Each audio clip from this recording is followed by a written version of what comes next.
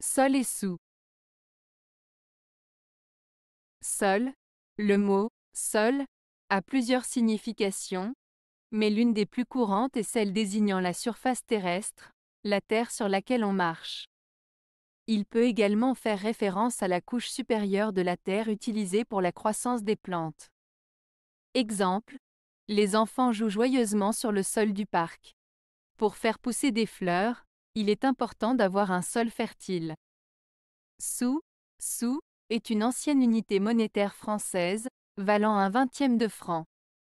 Cependant, le terme sous est parfois utilisé de manière informelle pour désigner une petite somme d'argent.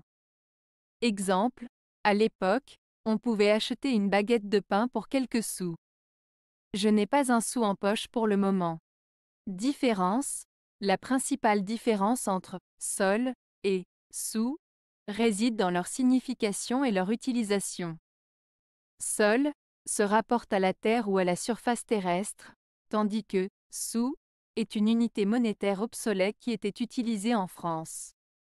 Bien que sous puisse également être utilisé pour désigner une petite somme d'argent de manière informelle, les deux termes appartiennent à des domaines très différents, géographie et finance.